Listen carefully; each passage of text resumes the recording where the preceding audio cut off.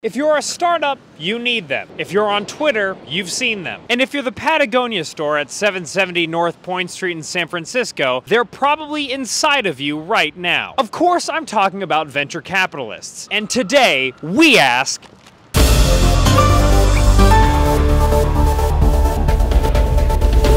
I'm here in beautiful Silicon Valley, California the home of venture capital, which Investopedia defines as a type of financing that investors provide to startup companies and small businesses that are believed to have long term growth potential. Sure, but over the last decade, the investment arm of the startup community has created a buzzy culture around itself, with some of its most successful operators becoming famous in their own right. So, do these mostly guys really just invest in companies? Or is it something more? Our investigation began with a real life venture capitalist who we lured into our studio by telling him we are two young Stanford grads with a hot new startup that's like if Uber and GitHub had a baby whose skin was made of Allbirds. My name is Sheel Mohnot, and I am a general partner at Better Tomorrow Ventures. We find really small companies and give them money and time and hope that they become good comp- big companies.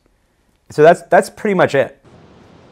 All right, but lots of people finance projects that need money. Banks, the government, my sugar mama best. So what besides designer mushrooms are these guys doing that's so unique? You look for crazy ideas that if they become true are going to change the world. They would say that they are funding the innovation economy. If we didn't have venture capitalists, we wouldn't have Genentech or Intel or Apple or any of the, the great American companies that have brought us all of these innovations that we use in our everyday life. And that's true. You know, you, you can't dispute that. Fundamentally, the job of VCs is to take long shot chances on small businesses with huge potential, which must mean that everyone in venture capital invests in small companies and makes mad bills. Case closed you usually lose money when you invest in a startup.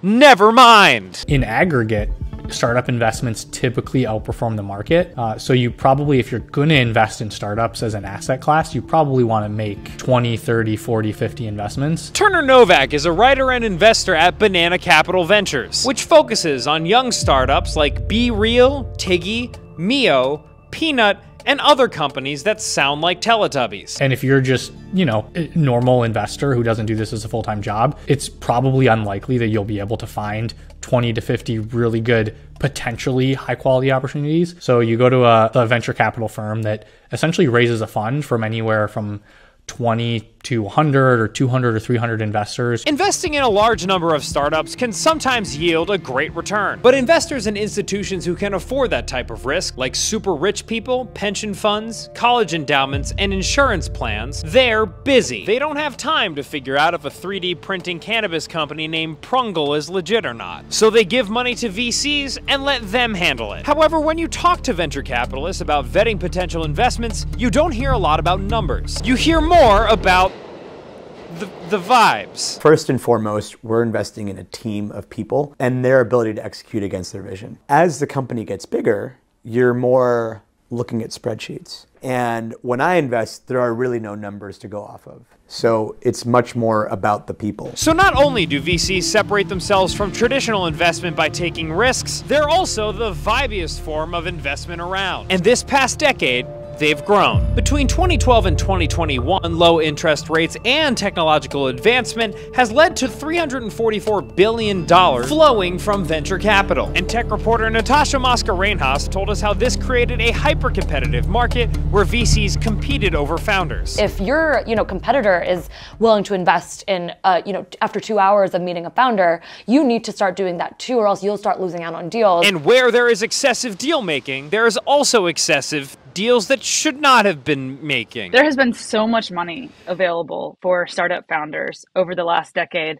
and that attracts bad actors sometimes or that can, you know, create bad incentives where maybe if you exaggerate a little bit, no one really calls you out on that. Another double-edged sword of VC growth has been the pressure to talk a big game. It's really tough to stand out as a VC, so you see them talk about and proclaim all these things to to try to stand out. And if we're not creating natural skepticism, usually the idea isn't disruptive enough. So I'm going to talk about culture and revolution today. I've made more in the last 8 years compared to the S&P than Buffett did in the first 8 years of Berkshire.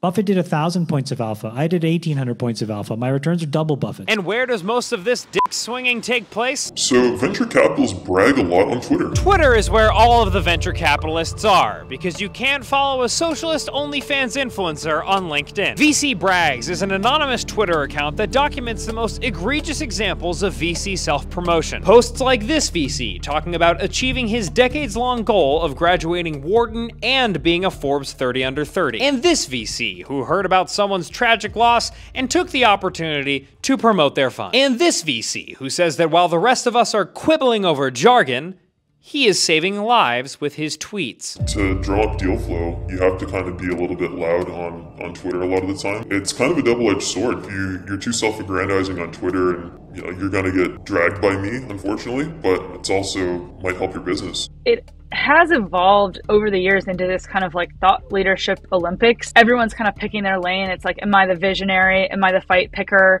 Am I the meme sharer? It would be great to see just more authenticity and intention. A lot of the times it's very fast moving and, you know, people are always excited to go on to the next thing. Uh, I think it would be great to just see more conviction and, you know, people really digging in and getting, really building expertise and being able to support the companies that they're investing. So, what do venture capitalists actually do? It's simple. They take cash from investors who are willing to accept risk and use that money to invest in startups. But the pressure to build their profile and land deals can make VCs act like they're doing more than that. But don't let the VCs fool you. They're humans just like us, which means they only want two things money and attention, but mostly money. Speaking of, if any investor is listening, I would now like to take this moment to advertise an exciting new media startup that helps narcissistic white boys from Massachusetts find their purpose in life. It's called.